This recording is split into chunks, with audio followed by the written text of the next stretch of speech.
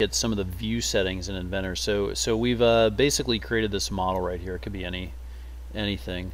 Um, and we let's say that we um, we need to be able to see like some of the hidden lines inside the model. So we want we want to have like two holes in it um, that um, where we're able to um,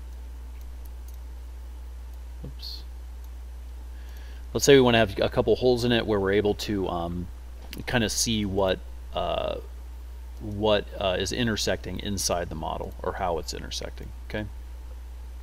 All right.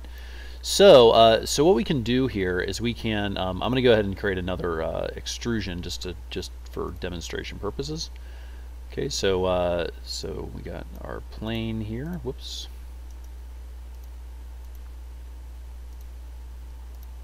Okay, and we're going to make a sketch.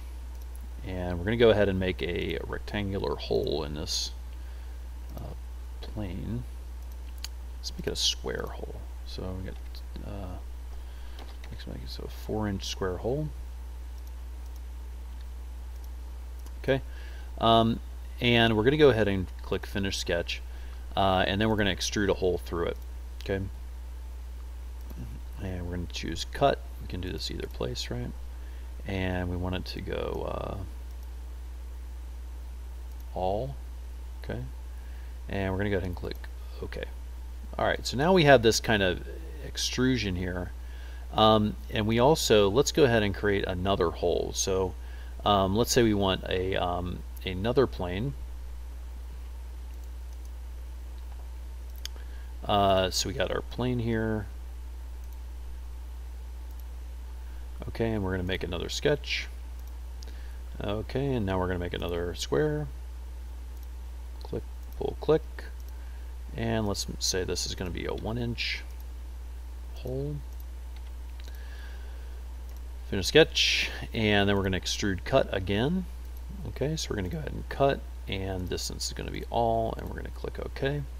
All right, so now we have these two holes. We're not really sure how they're interacting. Okay, so I'm going to go ahead and turn off the visibility on this sketch. What we want to do is we want to go over to view. Okay, now, and what we're going to see here is visual style. Now we can do a lot of things with this, right? We can do uh, all shadows, for example.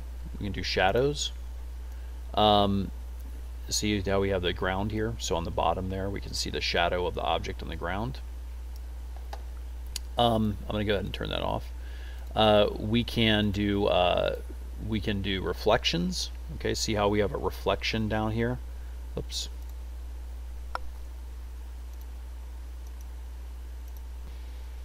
Okay, so see how we have a reflection down here? We can actually turn on and off reflections, right?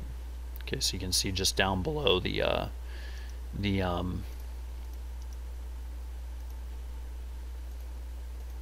the uh, item there.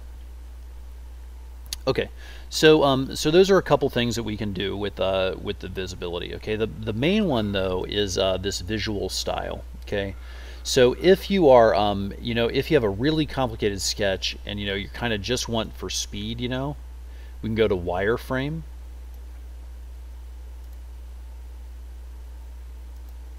Didn't turn off my reflections. It looks like. Okay, we can go to wireframe, right? Okay. Uh, we can also do things like shaded with smooth edges, but the one that is really, or we can go to realistic. We want it really, um, you know, uh, so we can really see a realistic view of that. Usually we combine that with some kind of like um, uh, um, version of like the material. We can, like say if we do this plastic, the material, the actual material itself, see the drop down right here, we change the actual material. The default is generic. Um, if we change the material though, um, what we can do is we can kind of see what it would look like with the material, different materials. Um, okay, uh, for our purposes though, the thing that's really most useful I think is to do shaded with hidden edges. So notice that we get kind of the best of both worlds here so we can see the hidden, the hidden features inside the objects. We can also see a realistic uh, view of the object themselves, right? So uh, shaded with hidden edges is my choice for working with stuff. You can also do stuff like monochrome, technical illustration, that type of thing. Um, but I think that shaded with hidden edges is really the way to go. Okay, it's on the view menu. Good luck.